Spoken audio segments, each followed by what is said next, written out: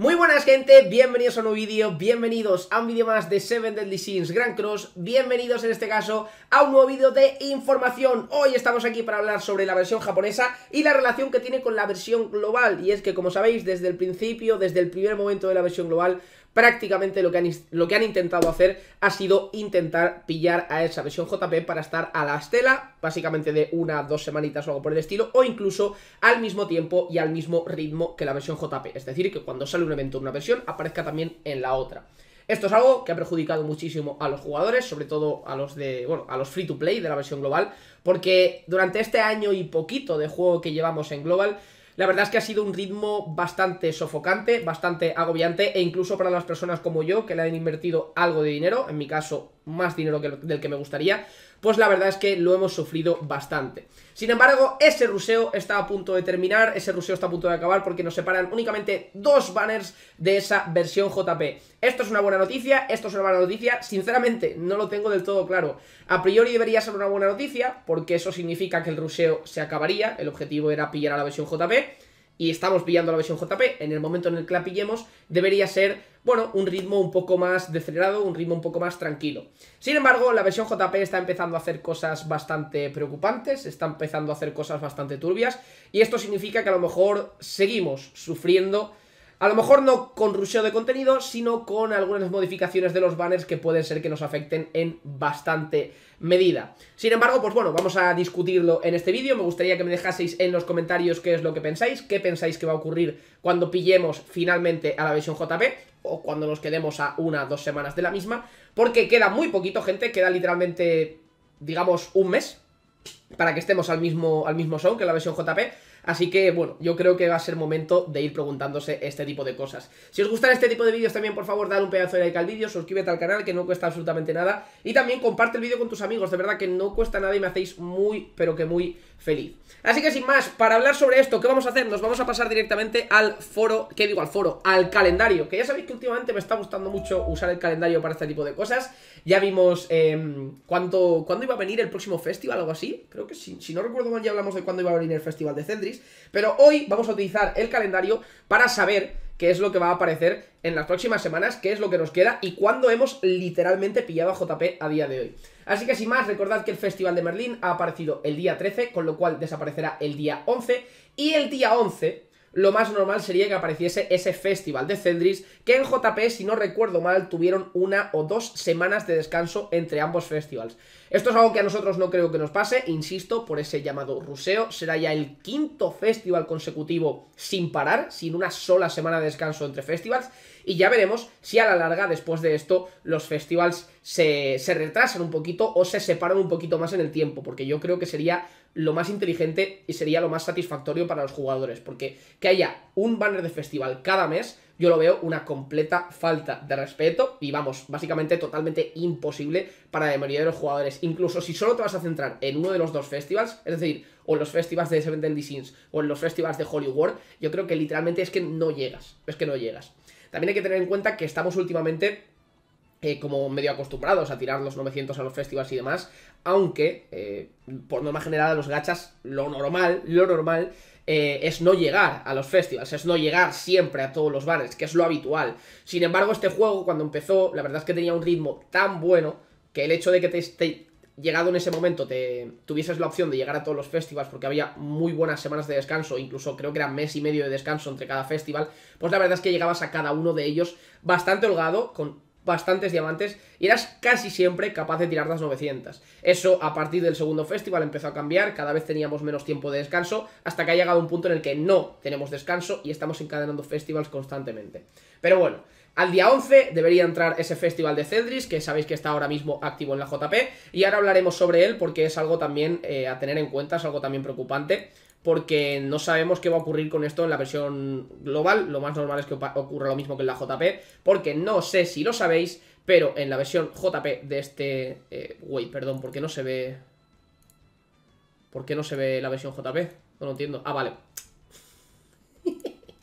no, no a ni caso. Eh, no sé si lo sabéis, pero este banner dura únicamente dos semanas. ¿Pasará lo mismo a partir de ahora con los festivals? No lo sé. ¿Por qué han hecho esto? Tampoco lo sé. Sinceramente, de verdad, no lo entiendo. Es un festival que va a durar únicamente dos semanas, apareció este mismo día 14, si no recuerdo mal, o el 15, no, no lo sé realmente. Y se va a ir el día 29, es decir, dos semanas de festival. A partir de ahí no sabemos si habrá dos semanas de descanso y luego otro festival, o un mes de descanso y luego otro festival, o incluso no va a haber descanso y vamos a tener otro festival. También tenemos, tenemos que tener en cuenta que el aniversario se acerca y por eso están quizá haciendo este pequeño freestyle para llegar al aniversario con suficiente pool de personajes para tener un buen banner de aniversario de Hollywood, que también tendréis un vídeo hablando sobre esto.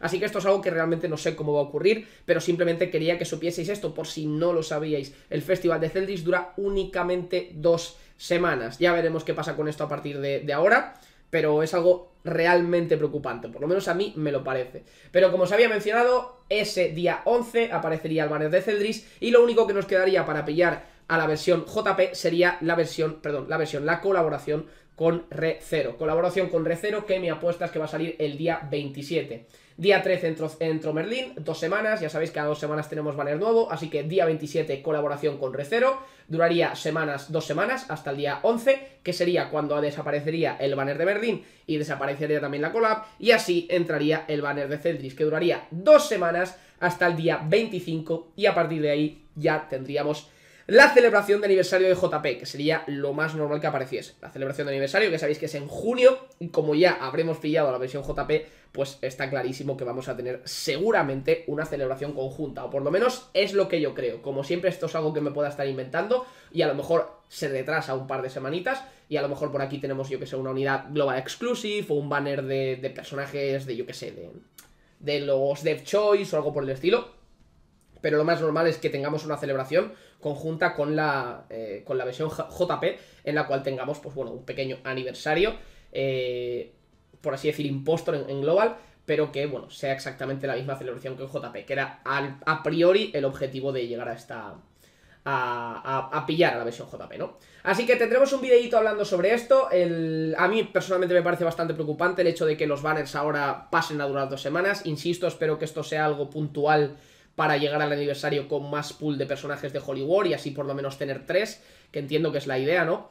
Porque el banner de aniversario, pues bueno, imagino que tiene que estar bastante chetado. Y de momento solo tendríamos dos personajes de Hollywood, ahora tendríamos el tercero cuando aparezca el siguiente. Así que, pues bueno, pues puede tener medianamente sentido que aparezca de esta manera.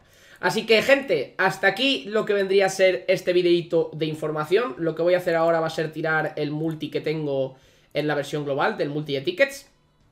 Así que vamos para allá. Que por cierto, como estáis viendo por ahí, eh, me he pillado una cuenta JP que está bastante, bastante decente. Se la he pillado a un suscriptor, que se lo agradezco un montón porque la cuenta está bastante decente.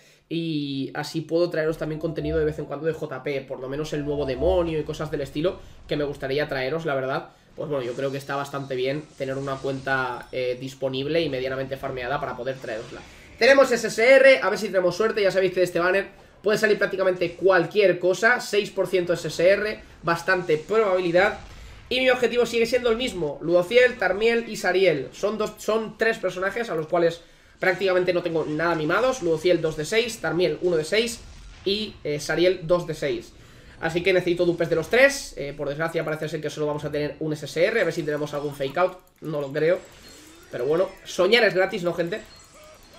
Vamos a ver, tenemos aquí los dos SSRs que quedan no hay fake out y tenemos el otro SR que queda y vamos a ver qué es lo que tenemos. Nos queda únicamente un multi, pues nada. Eh, he sacado poquitos SSRs de estos multis, eh. Creo que he sacado unos 4 de los 8 tickets que llevamos ya, 8 o 9 tickets. Y tenemos Hellbrand Azul, que es literalmente una modella, una, una modella, una medalla de Super Awinky. Que bueno, no es que me venga mal, Supongo que le agradezco, pero en general bastante pochito. Nada más, gente, me voy a despedir por aquí. De nuevo, dejadme en los comentarios qué es lo que pensáis, qué creéis que va a pasar a partir de ahora, qué vamos a tener en Global.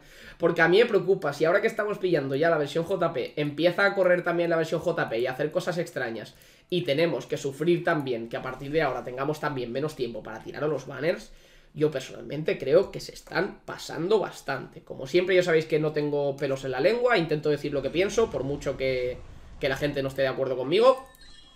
Y eso me puede traer bastantes problemas, porque la gente no suele estar de acuerdo conmigo. Pero bueno, es lo que hay, me gusta traeros la información como yo la creo, como yo creo que, es importante, siendo honestos con vosotros y poquito más. Así que nada más gente, espero que os haya gustado muchísimo el vídeo, recordad que tenéis ahí en abajo en la descripción todas mis redes sociales, sobre todo Twitter y Twitch, que es lo que más utilizo. Instagram, pues bueno, me podéis seguir si quiero, que a lo mejor se me escapa un nude por ahí, pero no suelo utilizar mucho Instagram. Y más allá de eso, pues bueno, también podéis seguirme en, en, nada más, ¿no? Yo creo que es lo único que nos queda. Suscribiros al canal, dale un pedazo de like al vídeo y ya estaría. Espero que os haya gustado muchísimo el mismo y nos vemos en otro vídeo más. Hasta luego.